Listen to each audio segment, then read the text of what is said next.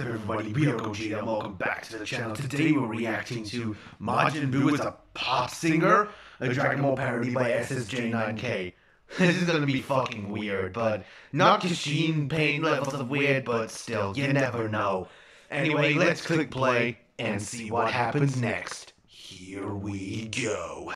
SSJ! Alright, we got SSJ9K signature intro, recorded and written by SSJ, edited by Dajax. Oh, that voice. It's so fucking annoying. Ah, I fucking hate Majin Buu's voice, man. I like Super Buu's voice. Uh, oh, is this a... Is this a Dance Monkeys parody? It's kind of an annoying song, not gonna lie. Oh yeah. His creepy ass eyes, they're so fucking creepy.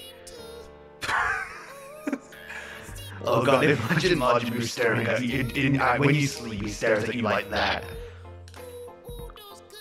Ah. oh yeah. I like to think that Toriyama just made him as a joke, but then people did actually like him. So, they, he just stayed.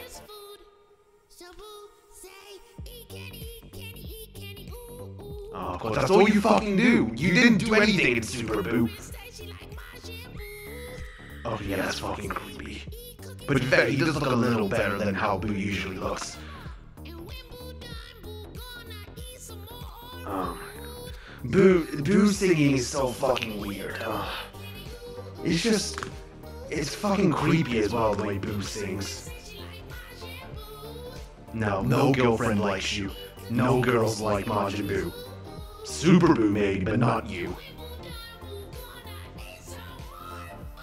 Because, like I said, it's all you ever do.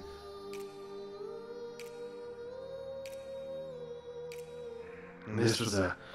Majin Buu, please, never sing again. I don't want you singing ever again. Put a ban on this. No more Majin Buu singing parodies for like 10 years. Okay, what else today's reaction video? I hope you guys enjoyed it, and if you do, make sure you like, share, and subscribe. As always, I've been Gogeta, and I'll see y'all soon.